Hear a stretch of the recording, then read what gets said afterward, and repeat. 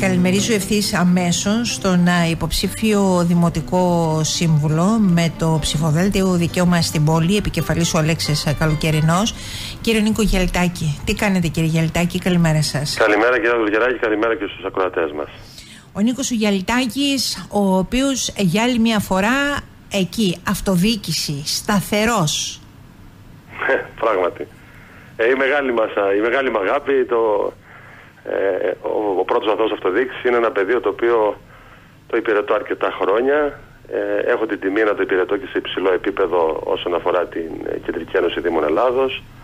Αλλά φυσικά και το, στο Ηράκλειο εδώ σταθερά στην πόλη μας, στο Δήμο, το οποίο ε, έχω υπηρετήσει και από θέσεις ευθύνης προηγούμενες περιόδους, το 11-14 ως αντιδήμαρχος, αλλά και στην συνέχεια από την θεσμική ιδιότητα του μέλους της ε, αντιπολίτευσης, της μείζωνος αντιπολίτευσης, όπου καθημερινά αφουγκραζόμαστε, μεταφέρουμε ε, τις αγωνίες, τα προβλήματα των συνδημοτών μας και πάντοτε με γόνιμο τρόπο προσπαθούμε να συμβάλλουμε σε ένα διάλογο ο οποίος ε, νομίζω θα πρέπει πάντοτε να προηγείται προκειμένου να φτάνει σε σύνθετες ε, απαντήσεις στα προβλήματα αυτά και στις επιλύσει των προβλημάτων αυτών της καθημερινότητας των πολιτών και όχι μόνο. Αλλά και να χαράζεις, αν θέλετε, μια πορεία η οποία χρειάζεται το Ηράκλειο και οι πόλεις μας για τις επόμενες δεκαετίες.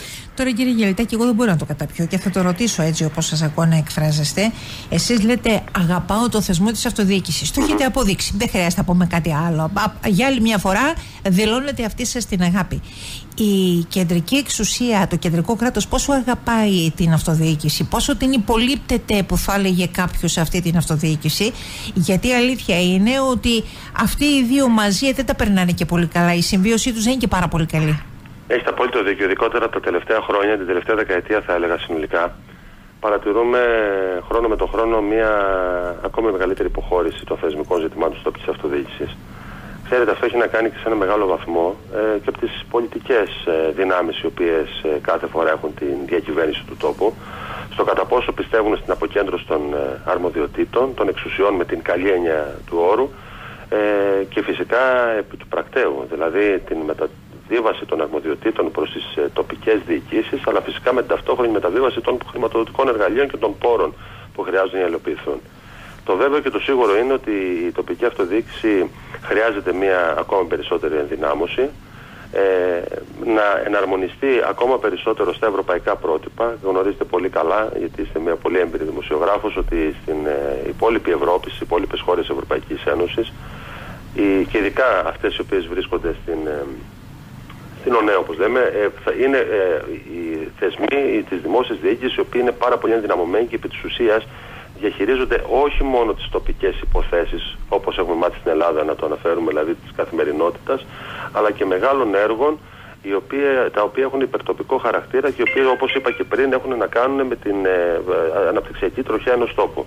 Εδώ βλέπετε ότι δυστυχώς στην Ελλάδα σε πολλά ακόμα και βασικά ζητήματα η τοπική αυτοδιοίκηση δεν είναι ισότιμος συνομιλητής της κεντρική εξουσίας. Ακόμα και για ζητήματα και παρεμβάσεις και έργα τα οποία αλλάζουν τις ζωές όλων μας, αλλά δεν ζητείται καν η γνώμη των τοπικών κοινωνιών. Και εν κατακλείδη, για να μην ε, αναφέρω άλλα παραδείγματα, το δεδομένο και το σίγουρο είναι ότι οι Δήμοι της χώρας και φυσικά ο κάθε ένας Δήμος ξεχωριστά αλλά και μέσω των συλλογικών των οργάνων θα πρέπει να διεκδικεί ακόμα περισσότερο θεσμική υπόσταση όσον αφορά τη θέση της στην πολυεπίπεδη διακυβέρνηση έτσι όπως τέλος πάντων την ευαγγελίζεται η εκάστοτε κεντρική κυβέρνηση και η σημερινή αλλά και κάποιες προηγούμενες. Mm. Ε, πρέπει λοιπόν, και το βάζω αυτό και σαν πολιτική ατζέντα, γιατί δυστυχώς είναι κάτι το οποίο χρονίζει στο δημόσιο διάλογο, γιατί πολύ απλά δεν προχωράμε παρακάτω. Ε, και αν θέλετε, είναι κάτι το οποίο μας ενώνει, θα έλεγα, σχεδόν όλες τις πτέρυγες της ε, τοπικής αυτοδιοίκησης, τις πολιτικές ενωπτέρυγε, είναι ότι τα θεσμικά ζητήματα είναι αυτά τα οποία πρέπει να προταχθούν επιτέλους ε, σε έναν γενναίο και γόνιμο διάλογο. Ε, και όχι, ε, που, που, κατ' επέκταση έχουν να κάνουν και με τα διοικητικά, με τις προσλήψεις προσωπικού, με τα οικονομικά και άλλα, και όχι οι εκλογικοί νόμοι που κάθε φορά είναι το πρώτο μέλημα της κάθε κυβέρνησης να αλλάξει και να ε, διεξάγονται με αυτόν τον καινούριο εκλογικό νόμο εκλογές. Mm-hmm. Όπως και αυτός ο φετινός, ο οποίος είναι ένας νέος εκλογικός νόμος και πάλι. Δεν είναι αυτή η ουσία του πράγματος. Η ουσία είναι οι θεσμικές αλλαγές που χρειάζονται η τοπική αυτοδιοίκηση. Αυτές τις μέρες που μιλάμε, υπάρχει, επιχειρείται μια αλλαγή του θεσμικού πλαισίου ε, από το Υπουργείο Εσωτερικών. Ε, αντιλαμβάνομαι και το συζητήσαμε εκτενώς και στην Κεντρική Ένωση Δήμων Ελλάδος σε μια συνεδρία που έλαβε χώρα πριν μερικές μέρες, παρουσία και του Υπουργού Εσωτερικών, ότι ε, είναι ένα αίτημα δικό μας και προφανώς είναι κάτι το οποίο πρέπει να το προχωρήσουμε. Πλην όμως γίνεται σε μια πάρα πολύ δύσκολη περίοδο για όλους τους Δήμους και για όλες τις δημοτικές αρχές. Αντιλαμβάνεστε ότι όλοι βρίσκονται σε μια προεκλογική περίοδο και δεν μπορούμε ούτε καν τη στοιχειώδη διαβούλευση να κάνουμε και τις παρατηρήσεις από αυτού.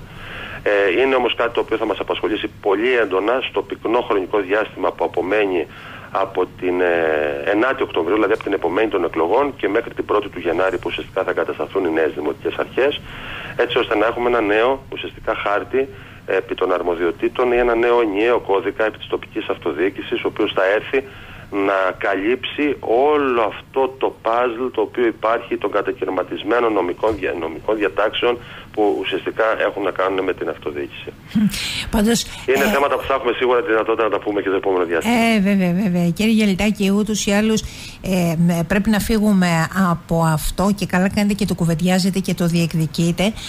Αλλά τώρα, εγώ θα σας το πω λίγο διαφορετικά. Με κατηγορήσετε όμως, ας πούμε, προεκλογική περίοδο, βουλευτικέ εκλογές, εθνικές εκλογές, όταν έθετε σε, σε υποψήφιους βουλευτές θέμα τοπικής αυτοδιοίκησης, έκοπταν οι μάτια απαντές για τη στήριξη, τη βοήθεια, το ρόλο που έχει, πρέπει να έχει και τη βοήθεια που έχει η τοπική αυτοδιοίκηση ε, η οποία έχει ή θέλουν και επιχειρούν κρατώντας εξουσίες, χρήματα κλπ απλά να λειτουργεί στο μακρύ χέρι της κεντρικής διοίκησης, έτσι. Καταρχάς, μια λυπηρή διαπίστωση την οποία κάναμε στις προηγούμενες εθνικές εκλογές είναι ότι κανένα κόμμα δεν ε, ουσιαστικά έβαλε στην κεντρική πολιτική του ατζέντα τα ζητήματα της αυτοδιοίκησης. Και αυτός σας το λέω σαν ένας αυτοδιοικητικός ο οποίος, όπως σας είπα και πριν, συμμετέχω στα ε, υψηλότερα συλλογικά όργανα και το επιθυμούσαμε κάτι τέτοιο. Δεν έγινε κάτι τέτοιο, δεν υπήρξε διάλογος ή, αν θέλετε, στην πολιτική ατζέντα έντονα ε, τα ζητήματα της τοπικής αυτοδιοίκησης. Τώρα, από εκεί και πέρα, προφανώς αυτή η αντίληψη ή η πολιτική ιδεολογία, η κουλτούρα, πείτε το όπως θέλετε, που αναπτύξατε και όντως υπάρχει σε κάποιες πολιτικές δυνάμεις, εμάς μας βρίσκεται εντελώ αντίθετος. Η τοπική αυτοδιοίκηση πρέπει επιτέλους να γίνει αυτοδιοίκηση και να γίνει ισχυρή αυτοδιοίκηση οι τοπικές κοινωνίες, οι πολίτες, αλλά φυσικά και οι αιρετοί που επιλέγονται από τους ε, πολίτες σε μια τοπική κοινωνία, οφείλουν να έχουν δύναμη στα χέρια τους, όχι υπό τη μορφή της εξουσίας, αλλά να έχουν όλα αυτά τα θεσμικά και οικονομικά εργαλεία, ώστε πολύ πιο γρήγορα, άμεσα, όσο εγκύτερος θεσμός στη δημόσια διοίκηση, να μπορούν να βελτιώνουν την καθημερινότητα και τη ζωή του κάθε δημότη, του κάθε πολίτη. Αυτό ζητάμε εμείς. Ε, δεν, δεν κρυφτήκαμε ποτέ ε, στην ε, αποποίηση ευθυνών ή τέλος πάντων αρμοδιοτήτων. Το μόνο το οποίο ζητάμε είναι αυτές οι αρμοδιότητες να μην επικαλύπτονται, να είναι ισχυρές και ανεξάρτητες και ταυτόχρονα να συνοδεύονται με τα οικονομικά αυτά εργαλεία και τους οικονομικούς πόρους που θα μπορούν πραγματικά να ε, μπορέσουν όλες αυτές οι υπηρεσίες να φτάσουν πραγματικά στον κάθε πολίτη. Αυτό που είπατε, ότι χρειάζεται η ισχυρή αυτοδιοίκηση για όλους τους παραπάνω λόγους. Α πάμε λίγο σε αυτούς τους ε, παραπάνω λόγους, γιατί κι εσείς μπαίνετε μέσα σε αυτή τη διεκδίκηση της ε, ψήφου και με αρχές και με πρωτοβουλίες και με προτεραιότητες. Αυτά τα οποία θέλετε και ζητάτε για αυτό που λέγεται Ηρακλείο, ο Δήμος Ηρακλείου, από τη μία του πλευρά μέχρι την άλλη, για τον καθένα καθένα από εμάς που είμαστε δημότες αυτού του Δήμου. Κυρία Δουργιανάκη, βλέπω όπως αντιλαμβάνεστε μέρες αυτές ε, στην προεκλογική περίοδο που έχουμε τη δυνατότητα και την ευκαιρία να συνομιλήσουμε ακόμα και με περισσότερους συμπολίτες μας αλλά και με κοινωνικούς φορείς της πόλης. Ε, αυτό το οποίο διαπιστώνω, αν θέλετε, ισχυρότερο σε αντίθεση με τα προηγούμενα χρόνια και τις προηγούμενες εκλογικές αναμετρήσεις είναι ότι για πρώτη φορά οι πολίτες ε, προτάσουν τα ζητήματα της καθημερινότητας. Ε, η αλήθεια είναι ότι το Ηράκλειο είναι μια πόλη που έχει πάρα πολλά προβλήματα, προβλήματα που αφορούν την ευζοία των κατοίκων. Και αναφέρομαι από τα πιο μικρά, τα οποία όμως έχουν γιγαντωθεί. Όταν λέω μικρά, εννοώ τη καθημερινή μας ζωής. Την οδοποιία, την καθαριότητα, τη σχολική στέγη, τους παιδικούς σταθμούς, ε, το νερό φυσικά. Ε, είναι ζητήματα που απασχολούν τον πολίτη και τον ταλανίζουν. Και σε δεύτερο χρόνο ε, συζητάνε για κάποια μεγάλα έργα υποδομής τα οποία εκκρεμούν και πρέπει να γίνουν, τα οποία θα δώσουν και μια υπεραξία στην περιοχή μας, στην περιοχή μας, στην πόλη μας, στο Δήμο μας συνολικά. Είτε μιλάμε για την Ήπεθρο, είτε μιλάμε για τον αστικό ιστό. Σε αυτή την κατεύθυνση κιόλας είναι το, ο τρόπος με τον οποίο θα πρέπει να κινείται κάθε δημοτική αρχή. Πρέπει να έχει δηλαδή μια παράλληλη δραστηριότητα, όπου φυσικά να είναι ε, αποτελεσματική, γρήγορη στην ε, αντιμετώπιση των προβλημάτων της καθημερινότητας αλλά ταυτόχρονα και να χαράζει όπως σας είπα την ταυτότητα του τόπου για τις επόμενες δεκαετίες. Ε, κάθε περιοχή του Δήμου Ηρακλείου έχει ε, διαφορετικά προβλήματα, αλλά θα έλεγα ισότιμα πρέπει να, αντιμετωπίζεται, να αντιμετωπίζονται και να βελτιώνονται. Άλλα τα προβλήματα τα οποία τα αντιμετωπίζει η Ήπεθρος και τα χωριά μας, οι κοινότητές μας, οι οποίες είναι δυναμικές κοινότητες με ακόμα πληθυσμό ο οποίος επιθυμεί να παραμείνει, ενώ ακόμα και στις νεανότερες ηλικίες. Άρα λοιπόν πρέπει να του δώσει τις υποδομές και τις ευκαιρίες για να παραμείνει στον τόπο του.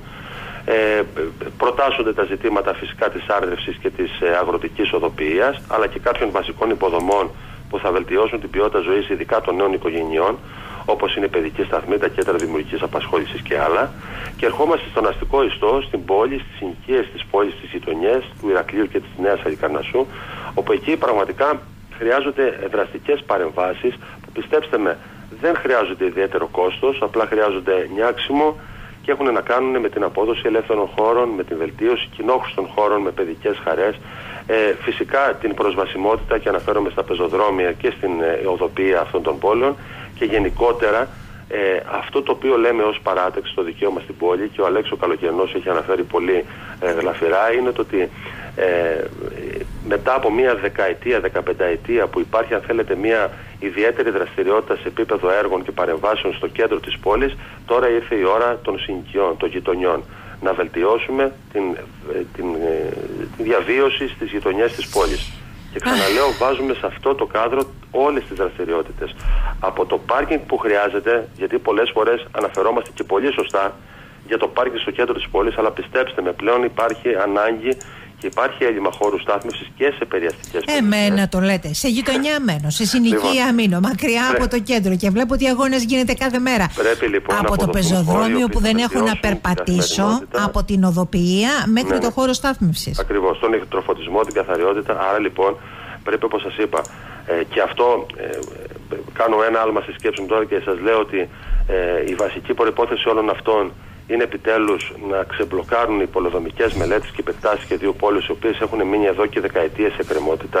Πρέπει να υπάρχει μια δραστική παρέμβαση σε αυτό το πεδίο και σε επίπεδο κεντρικής πολιτικής ώστε να, βελτι... ώστε να ρυθμιστεί επιτέλους ε, να, να ρυθμιστούν όλα αυτά τα πολεοδομικά θέματα γιατί ξέρετε χωρίς την χωροταξική διάταξη, χωρίς την τακτοποίηση αυτή τη χωροταξική δεν μπορείς να αναπτύξεις mm-hmm. καμία περιοχή για να αποδώσω όπως είπαμε Μάλιστα. και πριν όλα τα υπόλοιπα που χρειάζονται. Πολική στέγη, κοινόχρηστους χώρους, χώρους αναψυχής και πολλά άλλα. Ωραία. Εμείς έχουμε χρόνο να τα πούμε ούτως ή άλλως για όλες αυτές τις τις ε, ανάγκες ε, που μα υπάρχουν με την κάθε ιδιότητα ε, που έχετε εσείς από τη δική σας την πλευρά. Να σας ευχαριστήσω γιατί ο χρόνος μου τελείωσε. Μόνο μια κουβέντα, αν με επιτρέπετε. Θέλω να δώσετε πραγματικά, να δώσουν οι συμπολίτες μας, οι συνδημότες μας, μια ισχυρή εντολή από την πρώτη Κυριακή στην παράταξή μας, τον Αλέξη Καλοκαιρινό και στο δικαίωμα στην πόλη, διότι είμαστε ένας συνδυασμός ο οποίος πραγματικά έχει μια σωρευμένη εμπειρία, η οποία, η οποία αυτή η εμπειρία μας επιτρέπει να πιάσουμε πιάσουμε δουλειά από την πρώτη μέρα. Το Ηράκλειο δεν μπορεί να περιμένει και γι' αυτό ζητούμε μια ισχυρή εντολή, μια νίκη του συνδυασμού μας από την πρώτη Κυριακή. Καλημέρα σας. Να είστε καλά. Καλά να είστε κύριε Καλημέρα κύριε Γελτάκη.